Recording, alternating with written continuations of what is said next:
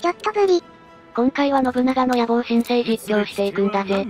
前回はなんとかかんとか光月四郎を攻略したところまで。ただ、赤松家がまだまだやる気満々だから困るんだぜ。まあ、勢力規模的にはまだまだ負けてるからな。わかってはいるが、なんとか叩き潰していかないとまずいんだぜ。せっかく無傷で獲得した軍が荒らされるからな。まずは一戦して突き飛ばしていくんだぜ。部隊数が少ないから面白みのない戦場。先方が強ければなんとかなるんだが、使えそうなのはないかな。となれば、なんとか損害少なく勝つしかないな。すでに中央で無理な状況なんだけど、とにかく引いて敵の軒口破壊を目指すんだぜ。まともにやり合ってたら勝てるわけないからな。ああ、コスク行かないとな。赤いデイが硬いんだぜ。能力考えたらかなりの損害受けるのは騎士レベルだからな。我が先方の前には物の数ではないわその赤い勢をなんとか絶対に追い込んだ。と言っても300程度しかいなかったんだけどな。ここでの木口から巻き勢が退却。どっちの軒口が先に破壊されるかのチキンレースなんだぜ。半分近く減ってるけど、なんとかなるよな。ここで三浦家が先にの木口破壊。なんとかなるもんだな。ギャンブルが過ぎる。三浦家の戦力で赤松家に挑んでる段階で賭けなんだけどな。それは間違いない。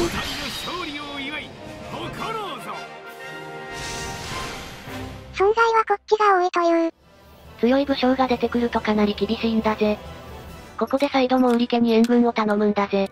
また、ああ、毛利家が少し頑張ってくれれば赤松家の兵が減るからな。すでに城を攻略してくれるとは信じてない。今回も出せるのは2300とか言ってるんだぞ。やる気なさすぎだ。中央では織田家がかなり伸びてきているし、珍しく本願寺家が伸びているから織田家を牽制してくれるかもだが、あんまり期待できないよな。毛利家がなんかしてきた。少しでも兵を減らしてくれたら御の字なんだぜ。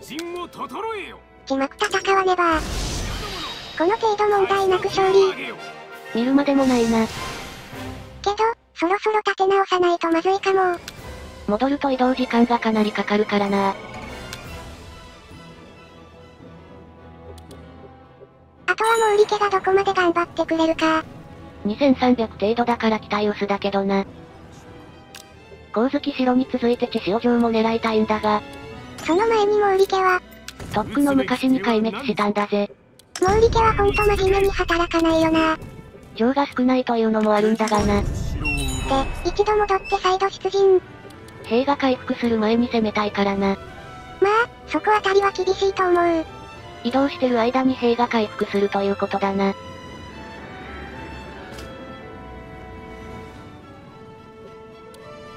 来たか。総力上げての反撃だな。なんとかなる。皆やれるとすれば時間差をつけたカッコ撃破だな。まず一つ。それなりの損害。なかなかに厳しいんだぜ。まだまだ来てる。城にたどり着く前に部隊が壊滅しそうなんだぜ。で、白攻めを巻き勢と中島勢に任せて、三浦さんは迎撃のために前に出たんだぜ。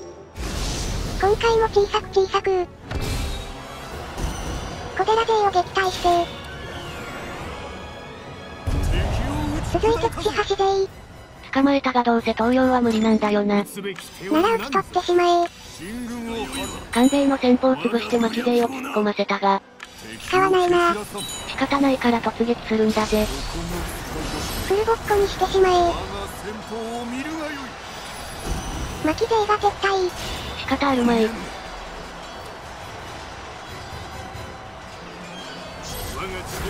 ここで使ってきやがった。これはどう判断すべきなんだ。溜まってなかったのか、使うタイミングが遅かっただけなのか。私的には溜まってなかったんじゃないかというのが怪しいが、官兵撤退。多分そんな気がする。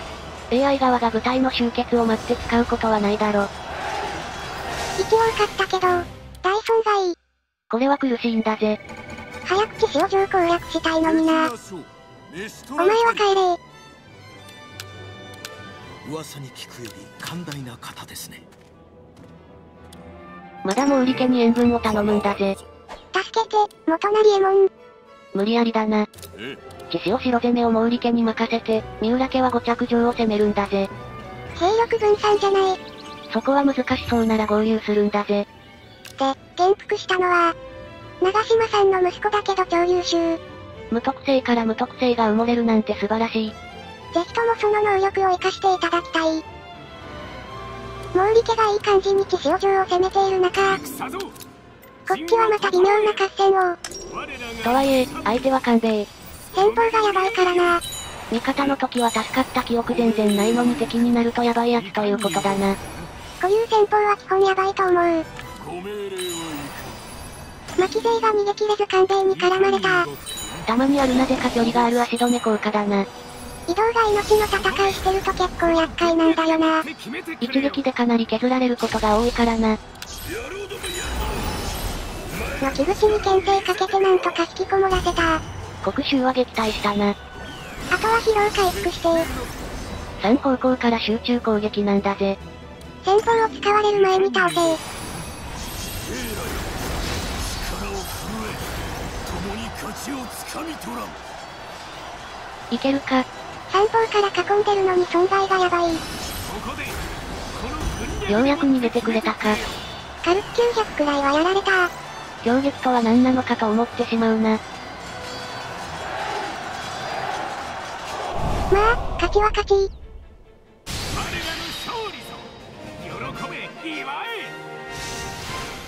相手よりも損害少ないからいいか。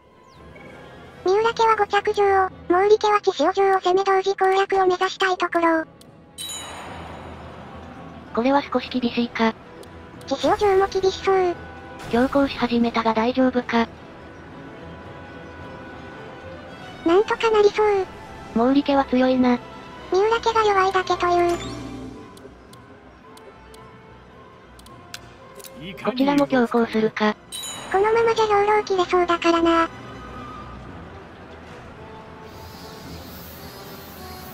変わらずの金の無心。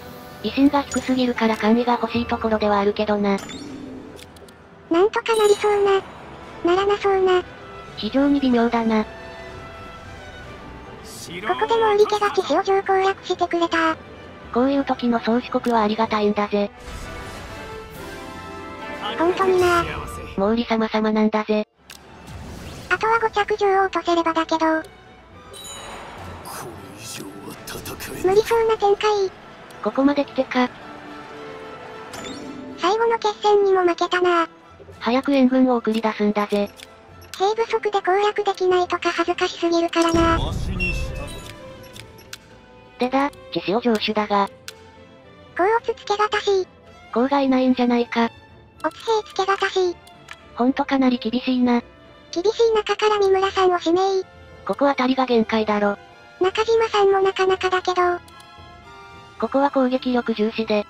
じゃあ、三村さんを指名で。いや、中島とサッカーするか。結局翻して中島さんを上手に。サッカーがしたかったんだよ。野球にしとけ。城が4つに増えた三浦家は一味違うんだぜ。と思ったら北で動きが。朝倉家が黒い城を攻めたか。織田家に攻められないように備えておけと言いたいがな。それはあるけど、兵が減ったのは少し嬉しいかな。勝ったけど。完全にやられた。あとは解散な。強い武将に当たると損害が増えるよな。織田家が三好家を攻めてるな。崩れたら一気に来るかもな。織田家と隣接するのはまだ勘弁なんだけどな。五着城攻略。これで残り一つだな。黒い城は諦めコースだからな。これはいかがか？につくな。高谷さんはいける。小寺は作事ありか？高谷さんだけを採用で。一人増えたな。統率はそこそこあるからなんとかなりそう。小寺にはお帰り願うか？なんとありがたいこのまま三木城を攻めたいけどさすがに厳しい。腰兵糧がな。予定通り黒い城は朝倉家が攻略したけど、花隅女王だけが攻略したんだぜ。これはやばい気がする。赤松家の後にすぐ行くべきか。みんな余裕あるか。内政要員も足りない状況だからな。全然昇進もしてないから軍の開発も全然だし。とにかく内政しつつ、三木城を攻略するんだぜ。なんとか毛利家の援軍をもらって、日常攻略ギリギリ過ぎたがなんとかなったんだぜ。この後が最大の問題なんだけど、今は赤松家を滅ぼせたことを喜ぶんだぜ。網にかかったかさあ、何人いるか、縛り上げよう官兵衛に串橋さんは欲しいけど、まあ、無理と、どこまで無理だ。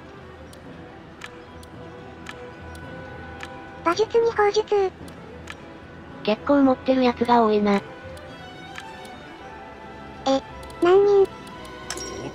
3人だけだな。これはまずい。おいおい特性多いやつ多すぎだろ。今からでも消してこいや能力微妙なのも持ってるというな。見てても変わらないからお帰り願うか。そうだな、腹も立ってくるしな。あまあまだよな。そういう次元ではない気がするけどな。というわけで、おだけが少しやばい気がするところで今回はここまで。ご視聴ありがとうなんだぜ。